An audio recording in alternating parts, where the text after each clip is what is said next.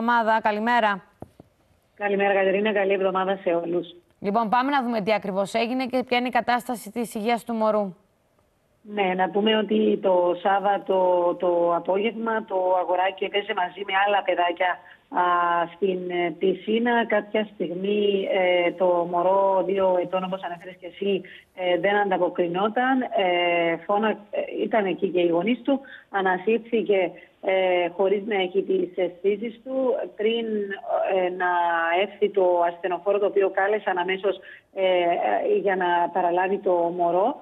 Ε, ένα άλλο παιδάκι 17 ετών από το Παραλίμνη που ήταν εκεί ε, στην πισίνα και έπαιζε μαζί με το δίχρονο αγοράκι, έδωσε τις πρώτες βοήθειες ε, και κατάφερε να επανακτήσει τις αισθήσεις του. Το μωρό μεταφέρθηκε στο Γενικό Νοσοκομείο Αμοχώς του, όμως λόγω της κρισμότητας της καταστασής του μεταφέρθηκε μετά στο Μακάριο στην Λευκοσία. Να σας πω ότι σε μια ενημέρωση που είχαμε για την κατάσταση του μωρού, η κατάσταση είναι κακή, αλλά είναι εκτός ε, κινδύνου. Είναι στο Μακάριο νοσοκομείο και παρακολουθείτε και κρατάμε το γεγονός ότι παρόλο που είναι σοβαρή η κατάσταση του μωρού, ε, έχει ε, εξέρθει από τον κίνδυνο. Αυτό είναι πάρα πολύ σημαντικό. Άρα μπορεί να ήταν και σωτήρια η επέμβαση μάλλον του 17χρονου. Δεν ξέρω αν μπορούμε να το πούμε. Ε, αλλά έκανε, έδωσε τις πρώτες βοήθειες, μας είπες, στο 17χρονος. Ναι, ναι, Κατερίνα, και φαίνεται ότι όπως ανέφερες και εσύ ήταν σωτήριες οι πρώτες βοήθειες που έδωσε ε, ο έφηβος ε, στο μωρό ε, καθώς κατάφερε να επανακτήσει τις αισθήσεις του πρωτού ε, έρθει του ασθενοφόρο και μεταφερθεί στο νοσοκομείο ε, της ε, επαρχίας. Ωστόσο να πω ότι ε, η, η αστυνομία έτσι εξετάζει την υπόθεση ε, κατά πόσον το ο μωρό ήταν κάτω από την εποπτεία και των γονιών του. Ναι, ναι, ναι, είναι πάρα πολύ σημαντικό και επειδή καλοκαιριάζει και επειδή όλοι θα ξεκινήσουμε σιγά σιγά, δεν θέλει και πολύ. Εγώ θα δεν θα ξεχάσω μια, ε, μια πρόταση που μας είχε πει η κυρία Κωνσταντίνη, υπεύθυνη των ασθενοφόρων, ότι ένα μωρό ε, την ώρα που μπαίνει νερό δεν, μπορεί, δεν κάνει καθόλου θόρυβο.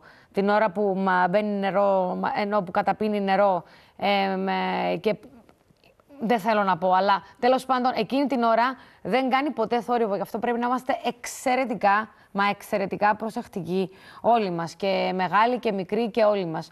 Ε, είναι κρίμα, ευτυχές βεβαίως το γεγονός ότι έχει διαφύγει τον κίνδυνο το, το μωρό. Αλλά πρέπει να είμαστε όλοι μας με τα μάτια μας 24 και ας μας λένε και υπερβολικούς.